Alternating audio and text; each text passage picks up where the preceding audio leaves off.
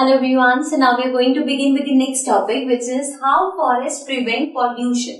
अब forest कैसे help करते हैं pollution prevent करने में? Let's see.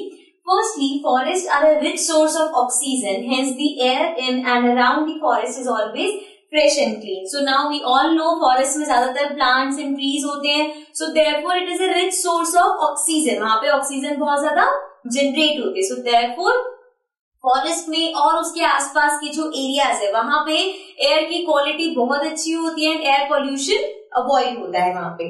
Next forest prevent strong winds और dust storms from flowing in the area अब क्या करते हैं? जो फॉरेस्ट है, वो स्ट्रॉन्ग विंड्स और जो ये डस्ट मिट्टी वगैरह है, इन सबको भी ज़्यादा मात्रा में फ्लो नहीं करने देता। Then the area surrounding the forest generally have a cool climate and receive a good amount of rainfall और जहाँ पे जो फॉरेस्ट के एरियाज़ हैं, वहाँ पे जो क्लाइमेट है, वो हमेशा मोस्टली कूल रहता है because of plants and trees and वहाँ पे अच्छे से गुड अमाउंट ऑफ़ रेनफॉल होती है right Then the forest also observe loud sounds of the vehicles on the highways nearby and hence prevent noise pollution in the areas around the forest. अब forest क्या करते हैं?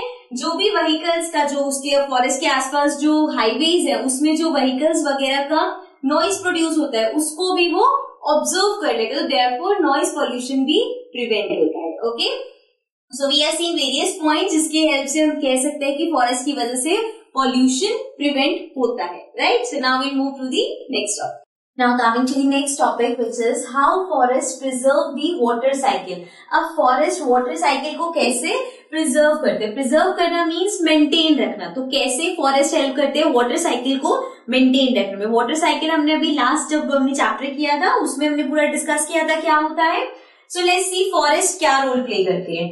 We know that plants get rid of an excess of water through the process of transpiration transpiration हमने छोटी classes में पढ़ा हुआ है। इन दिस प्रोसेस यहाँ पे भी है क्या होता है?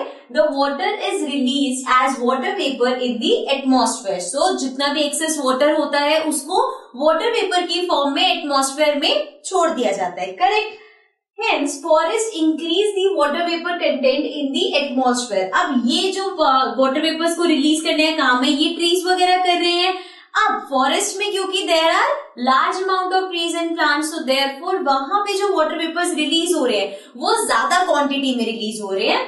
This water vapour condenses and forms clouds which lead to increase rainfall in the area अब ज़्यादा वाटर वेपर रिलीज़ होंगे तो ज़्यादा क्लाउड फॉर्म होंगे एंड इन रिज़ल्ट रेनफॉल ज़्यादा होगी उस एरिया में right this rain water gets into the ground and increases the underground water level अब क्या होता है रेनफॉल किसी एरिया में ज़्यादा हो रही है तो अब जो पानी ज़मीन पे गिर रहा है, वो जैसे देखा था ना क्रैक्स के थ्रू ज़मीन के अंदर चला जाता है। तो यहाँ पे वो चीज़ भी ज़्यादा होगी। पहली बात तो फॉरेस्ट एरिया ऐसा कोई सीमेंटेड वो नहीं है कि पानी सीख ना हो सके।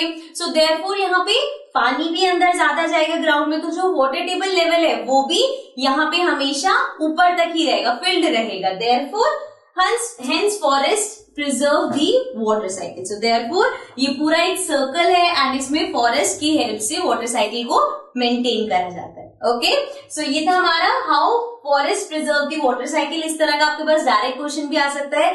अदरवाइज़ जो हम ये नीचे चीज़ें पढ़ इसमें से भी बीच में से आ सकते हैं तो आपको इसके बारे में पता होना चाहिए। Now we move to the next topic